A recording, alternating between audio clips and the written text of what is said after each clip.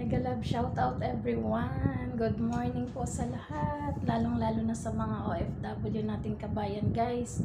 Ang ano ko lang sa inyo na if may free time tayo kasi ang TESDA is may offer sila online course.